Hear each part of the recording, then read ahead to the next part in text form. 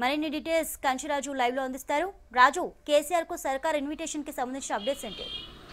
Thank you Chandrika June రెండు తెలంగాణ ఆవిర్భావ దినోత్సవ వేడుకలను చాలా గ్రాండ్గా నిర్వహించాలని ప్రభుత్వం భావిస్తుంది. పదేళ్ళ సందర్భంగా తెలంగాణ వచ్చి పదేళ్ళ సందర్భంగా రాష్ట్ర వ్యాప్తంగా వాడవాడల తెలంగాణ ఆవిర్భావ వేడుకలు నిర్వహించాలని ఇప్పటికే ప్రభుత్వం నిర్ణయం తీసుకుంది. ఇక స్టేట్ వైడ్గా పరేడ్ గ్రౌండ్లో భారీ ఎత్తున బహిరంగ సభను నిర్వహించి తెలంగాణ ఆవిర్భావ వేడుకలను నిర్వహించనుంది ఈ వేడుకలకు సోనియా గాంధీని ఆహ్వానించడానికి ఇప్పటికే సీఎం రేవంత్ రెడ్డి ఢిల్లీకి వెళ్ళి ఆమెను తెలంగాణ ఆవిర్భావ వేడుకలకు రావాలని కోరారు. దాంతోపాటు తెలంగాణలో చాలా కీలకంగా పనిచేసిన ఉద్యమకారులు కావచ్చు అమరవీరుల కుటుంబాలు కావచ్చు అదేవిధంగా వివిధ పార్టీలకు సంబంధించిన నేతలు తెలంగాణకు ఎవరైతే మద్దతుగా నిలబడి పోరాటం చేశారో వారిని అందరినీ ఆ వేడుకలకు హాజరయ్యేలాగా ఆహ్వాన పత్రికలను ప్రభుత్వం నుంచి పంపారు. సీఎం రేవంత్ రెడ్డి ప్రత్యేకంగా ఆహ్వాన పత్రికలను పంపారు. ఇక మాజీ సీఎం కేసీఆర్ కూడా తెలంగాణ ఆవిర్భావ వేడుకల్లో హాజరు కావాలని ప్రస్తుత సీఎం రేవంత్ రెడ్డి ఆయనకు ప్రత్యేకంగా లేఖ రాశారు. ఆహ్వాన పత్రాన్ని కూడా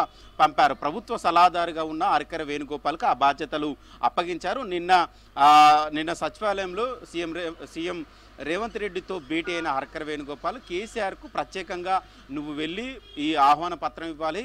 అదేవిధంగా తాను రాసిన అంటే సీఎం రాసిన లేఖను కూడా ఆయనకు ఇవ్వాలని హర్కర్ వేణుగోపాల్కి ఆ బాధ్యతను అప్పయ్యారు అదేవిధంగా జిఏడి డైరెక్టర్గా ఉన్న అరవింద్ సింగ్ అరవింద్ సింగ్ కూడా ఆయనను కూడా తీసుకెళ్ళి అధికారికంగా ఆయనను ఆహ్వానించాలి అని కూడా చెప్పడం జరిగింది. దీంతో నిన్న సాయంత్రం నుండి మాజీ సీఎం కేసీఆర్ కార్యాలయానికి అర్కర వేణుగోపాల్ ఫోన్ చేసి వారి సిబ్బందితోని మాట్లాడడం జరిగింది. జూన్ టూ తెలంగాణ ఆవిర్భావ వేడుకల్లో మాజీ సీఎం కేసీఆర్ను ఆహ్వానించడానికి ప్రస్తుతం ప్రభుత్వం నిర్ణయం తీసుకుంది.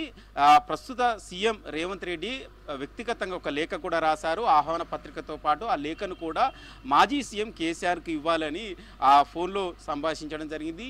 సో అయితే ఆ సమాచారాన్ని కేసీఆర్ గారికి చెప్పిన తర్వాత మీకు పూర్తి సమాచారం ఇస్తాము. ఎక్కడికి రావాలో చెప్తాము. ప్రస్తుతం అయితే ఆయన ఫామ్ హౌస్లో రెస్ట్ తీసుకుంటున్నారు అని వ్యక్తిగత సిబ్బంది సమాచారం ఇచ్చారు. ఇక నిన్నటి నుండి ఇప్పటి వరకు ఇప్పటి వరకు కేసీఆర్ సిబ్బంది నుంచి వెళ్ళి ఎలాంటి సమాచారం రాలేదు. ఇవాళ ఉదయం నుంచి వెళ్ళి ఫోన్ చేసినా కూడా ఫోన్లు లిఫ్ట్ చేయడం లేదు అని తెలుస్తుంది. ప్రస్తుతం హర్కర్ వేణుగోపాల్తో పాటు అధికారి అరవింద్ సింగ్ కూడా వెయిట్ చేస్తున్నారు. వాళ్ళు ఫామ్ హౌస్కు రమ్మంటే ఫామ్ హౌస్కు వెళ్ళడానికి లేదు హైదరాబాద్లో ఎవరికైనా ఇవ్వాలంటే ఇవ్వడానికి వాళ్ళైతే సిద్ధంగా ఉన్నారు. సీఎం రేవంత్ రెడ్డి రాసిన లేఖతో పాటు ఆహ్వాన పత్రికతోని వాళ్ళైతే సిద్ధంగా ఉన్నారు. కానీ ఇప్పటి వరకు ఆహ్వాన పత్రం తీసుకోవడానికి కేసీఆర్ నుంచి వెళ్ళి కేసీఆర్ సంబంధించిన అనుచరుల నుంచి వెళ్ళి కావచ్చు వాళ్ళ ఆఫీస్ సంబంధించిన సిబ్బంది నుంచి వెళ్ళి ఎలాంటి సమాచారం రాలేదు. కానీ మర్యాద పూర్వకంగా ప్రభుత్వం నుంచి వెళ్ళి ఇవ్వడానికైతే ప్రభుత్వం కావచ్చు ప్రభుత్వం తరపున వెళ్ళిన హర్కర్ వేణుగోపాల్ కూడా వెయిట్ చేస్తున్న పరిస్థితిని కడుతుంది ప్రస్తుత ప్రభుత్వము రేవంత్ రెడ్డి సర్కారు గత ప్రభుత్వం సీఎంగా ఉన్న ఆ కేసీఆర్తోని సత్సంబంధాలు కొనసాగించడం కావచ్చు ప్రజా సమస్యలను పరిష్కారం కోసం కావచ్చు చర్చలు జరపడానికి తాను సిద్ధంగా ఉంటా ఉన్నాను అని పలు సందర్భాల్లో ప్రజెంట్ సీఎం రేవంత్ రెడ్డి పలు సందర్భాల్లో చెప్పడం జరిగింది. అసెంబ్లీ కూడా వస్తే ప్రజా సమస్యలపైన చర్చించి ఆయన అనుభవాలు కావచ్చు ఆయన సలహాలు కావచ్చు తీసుకొని ప్రజాపాలన చేయడానికి తాను సిద్ధంగా ఉన్నానని పలు సందర్భంలో రేవంత్ రెడ్డి చెప్పడం జరిగింది. అదేవిధంగా తెలంగాణ వచ్చిన సందర్భంగా తెలంగాణ ఏర్పడి పదేళ్ళైన సందర్భంగా ఆ, ఆయన సంబంధించిన సన్మానం కావచ్చు కేసీఆర్కు చేయాల్సిన సన్మానం పైన కూడా పార్టీలో కావచ్చు ప్రభుత్వంలో కూడా చర్చ జరిగింది. తెలంగాణ ఉద్యమకారులకు అందరికీ సన్మానం చేస్తున్నారు. గత ప్రభుత్వంలో పదేళ్ళ పాటు సీఎంగా ఉన్న కేసీఆర్ను కూడా సన్మానించాలని ప్రస్తుత ప్రభుత్వం నిర్ణయం తీసుకుంది. ఆ నిర్ణయం మేరకే ఆహ్వాన లేఖను పంపడానికి నిర్ణయం తీసుకున్నారు. కానీ ఇప్పటివరకు వరకు కేసీఆర్ కావచ్చు కేసీఆర్ సిబ్బంది నుంచి వెళ్ళి ఎలాంటి సమాచారం రాకపోవడంతో హర్కర వేణుగోపాల్ అయితే వెయిట్ చేస్తున్న పరిస్థితిని కనబడుతుంది. ఎప్పుడైనా అసెంబ్లీ సమావేశాలు జరిగినా అసెంబ్లీ సమావేశాలకు వస్తే బాగుంటుందని కూడా పదే పదే రేవంత్ రెడ్డి కూడా చెప్తూ వస్తున్నారు. ఇప్పటివరకు జరిగిన రెండుసార్లు జరిగిన అసెంబ్లీ సమావేశాల్లో కూడా ఆయనే అసెంబ్లీకి రావాలని కూడా రేవంత్ రెడ్డి చెప్పడం జరిగింది. ఆయన అసెంబ్లీకి వస్తే అసెంబ్లీలోనే ప్రజా సమస్యలు చర్చిస్తాం. ప్రజా పాలన వైపు ఏ విధంగా వెళ్ళాలి ఆయన సలహాలు సూచనలు కూడా తీసుకుంటామన్నారు అందులో భాగంగానే ఈ- ఈ తెలంగాణ ఆవిర్భావ వేడుకలకు కూడా కేసీఆర్ రావాలి. కేసీఆర్ వస్తే తెలంగాణ తెలంగాణ ఆవిర్భావ వేడుకలు మరింత వైభవంగా జరిగినట్లు ఉంటుంది అనేది కూడా ప్రభుత్వం ఇప్పుడున్న ప్రస్తుత ప్రభుత్వం కూడా భావిస్తుంది. అందులో భాగంగా అన్ని వర్గాలకు సంబంధించిన ఉద్యమకారులను అందరినీ ఇన్వైట్ చేస్తున్నారు. అదేవిధంగా వివిధ పార్టీలకు సంబంధించిన నేతలను ఇన్వైట్ చేస్తున్నారు.